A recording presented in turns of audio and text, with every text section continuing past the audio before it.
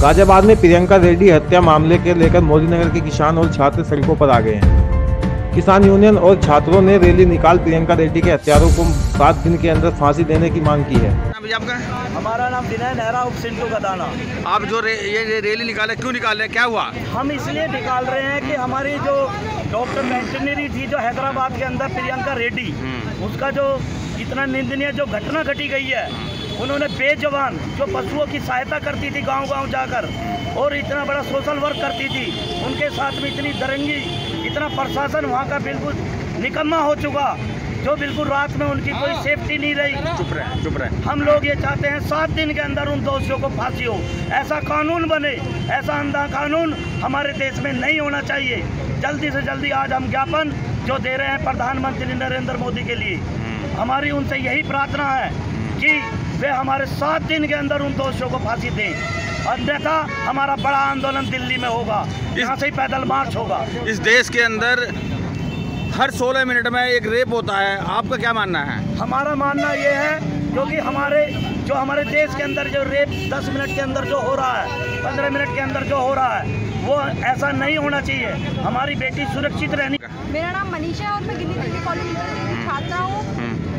प्रधानमंत्री जो नारा दे रहे हैं कि बेटी बचाओ बेटी पढ़ाओ। बेटी बचा तो रहे हैं लेकिन मैं चाहती हूँ कि बेटी सेफ़ भी रहे हर जगह जैसे कि अब आप रेड्डी की जिस जो लेडी इतना किसी के लिए कर रही है वो ही लेडी सेफ़ नहीं है तो हम एक आम लड़की कैसे सेफ़ रहेंगी? तो हमें इंसाफ चाहिए को सात दिन के अंदर फांसी बीजेपी सरकार ये नारा देती है कि बेटी बचाओ बेटी पढ़ाओ। क्या इस पर ये लोग अमल कर रहे हैं क्या? नहीं बिल्कुल भी नहीं। अगर अमल करते तो आज जो ये हुआ वो बिल्कुल भी नहीं होता। और यही क्या कितनी जगह ये सब हो रहा है कि कितनी लड़कियाँ आज ये मीडिया के सामने आ रही है पाते हैं तो बिल्कुल आम लड़की तो बिल्कुल भी सेफ़ नहीं है। क्या नाम आपका? ये को, कौन से स्कूल के छात्र हैं? छात्र का ही तो, तो आप जो ना ये रैली निकाले क्यों निकाले क्या हुआ? हम हथियारों को जेब नहीं निकाल रहे हाँ। ये हथियारे हमारे हाथ लगने चाहिए ये बिल्कुल देश के या समाज के बेवाले कीटाणु हैं, जो एक बार हाथ लग जावे, इन्हें साफ़ हम अच्छी तरीके से जानते हैं करना ये हमारे हाथ लग जावे बस। और जो भी इस आंदोलन को देखेगा, लड़का या लड़की, जो भी कोई होगा, इस तरीके के जितने भी कीटाणु हैं, वो जो फैल रहे हैं, वो हमें देख के इस चीज़ को समझ जाएँगे कि हमें ये काम करना या नहीं करना। तो आज ये मैसेज हम देना चाह रहे हैं, ऐसे कीटाणुओं को, कि हमारे हाथ लग जाएँगे ना तो हम अच्छी तरीके से इनका इलाज कर देंगे। गिरफ़्तार कर लिया गया है। और उसके बाद अभी यहाँ पर प्रदर्शन है। व्यापारियों ने अपने व्यापार बंद कर दिए हैं। आपके समर्थन में क्या आगे कार्रवाई आपकी तरफ़ से की जा रही है? क्या रणनीति? देखिए, रणनीति कुछ नहीं है। दुखद बात है। बहुत दुख का विषय है। ललित शर्मा वहाँ थे नहीं। मैंने पहले भी कहा, अब भी कहा जाँच चल रही है, किस जल्दबाजी में किया गया।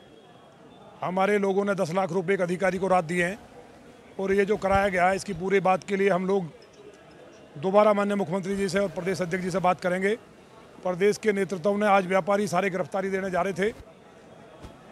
ललित शर्मा जी के लिए, क्योंकि वो व्यापारियों से पैसे लूटता था। व्यापारी वहाँ गए तो व्यापारियों का कहना था कि हमारे पास एविडेंस है, हमने रिपोर्ट भी दर्ज कराई, उस पर कार्रवाई नहीं हुई। ललित शर्मा वहाँ थे नहीं, उन्हें बिना कारण गिरफ़्तार किया गया राजनीतिक षडयंत्र के तहत। तो इसलिए व्यापारियों ने कहा था कि हम गिरफ्तारी देंगे। अभी आपके सामने मैंने उनके हाथ जोड़े हैं कि आज आप हाथ जुड़वा लो, अपने बाज़ार खोलो, पूरा बाज़ार बंद कर दिया था। और वो हमारी बात को मान गए। प्रदेश के पुलिस के बड़े अधिकारी, प्रदेश के नेता और देश के नेता, उन्होंने मुझे भरोसा दिलाया है कि आपकी जो कन्फ्यूज़न हुआ है, आप आकर के इस बात को बताएँ, कड़ी कार्रवाई होगी। जो भी कोई गलत कर रहा है या इस तरह से कर रहा है, वो अनुशासनहीनता वर्दी नहीं की जाएगी। तो ये सब बात हमने इसलिए व्यापारियों से हाथ जोड़ के कहा है कि तीन दिन का समय आप दें उसके बाद गिरफ्तारी देगा, जो होगा, कानून का मैं भी सम्मान करता हूँ। और मुझे भी ये था कि भाई, मान लिया गिरफ्तारी की बात है तो हम भी, क्योंकि तो कानून से बड़ा कोई नहीं है, और प्रदेश में कानून का राज है। और माननीय मुख्यमंत्री जी से मुझे उम्मीद है, आपके माध्यम से भी बात मेरी चली जाए, कि वो इंसाफ करें। आशुतोष सिंह बेईमान अधिकारी है, इसमें कोई दो राय नहीं।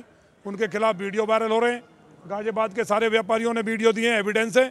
तो उसको यहाँ से तुरंत हटाएँ और गिरफ़्तार करें, क्या बर्खास्त करना चाहिए ऐसे अधिकारी को? और उसके साथ कोई घटना नहीं हुई। माननीय मंत्री अतुल गर्ग जी के लिए। जिस तरह के शब्दों का इस्तेमाल उनके द्वारा किया गया मैं शंकर जी का मंदिर है और मैं शिव भक्त हूँ अगर झूठ क्या नाम आपका? बाबा परविंदर आविया सर ये जो रैली निकाल रहे हैं आप यहाँ से जो क्यों निकाल रहे हैं? क्या हुआ? डॉक्टर रेड्डी के साथ बलात्कार करके जो उनको जलाया गया है उन उनके जो मुलजिम है उनको जल्द से जल्द फांसी लगाई जाए हम ये मांग कर रहे हैं। और जो विकृत मानसिकता है ये पनप रही है जो अश्लील वेबसाइट है उनको बंद किया जाए। हम सरकार से ये भी मांग करते हैं, क्योंकि जो हमारे लड़के हैं, ये मानसिक रोग के शिकार हो चुके हैं पूरे देश के अंदर, अश्लील वेबसाइट देख देख करके। तो और जो फिल्मी दुनिया में जो अश्लील सीन दिखाते हैं, इनको बंद करना चाहिए सरकार को। मोदी से हमारी मांग है, और जो भी इस तरह का बलात्कारी है, उनको जल्द से जल्द सरकार फांसी दे उनको। छः छः साल तक जेल में रख करके जो खाना खिलाया जाता है, और हमारे टैक्स से उनकी सेवा की जाती है, वो बंद की जाए, जल्दी से जल्द। ऐसे हत्यारों को फांसी दी जाए, बलात्कारी को फांसी दी जाए, इसी मांग को लेकर के आज सिंटू नेहरा जी के नेतृत्व में मोदी ने का बस अड्डे से जिला उप जिला अधिकारी महोदय को तहसील में जाकर के ज्ञापन देंगे प्रधानमंत्री के वहाँ के लिए। और अगर ये इस पर जल्दी कार्रवाई नहीं हुई तो जैसे भी भारतीय किसान यूनियन के अधिकारी जो भी योजना बनाएँगे, पूरा क्षेत्र इनके साथ रहेगा।